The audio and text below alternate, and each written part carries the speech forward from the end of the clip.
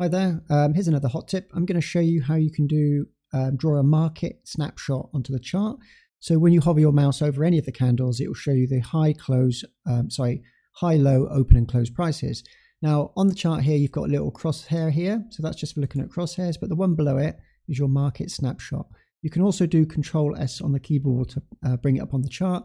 But if I click on it and bring it down now, I can actually hover this over the chart and wherever the actual cursor is, it's telling me the price. It's also telling me the open price, the high, low and close and the tick volume for that candle. If I go to the next candle, you'll see the values change as I go from candle to candle. So if I was to zoom in with control and I'm just scrolling my mouse, you can actually then see it clearly as you go across.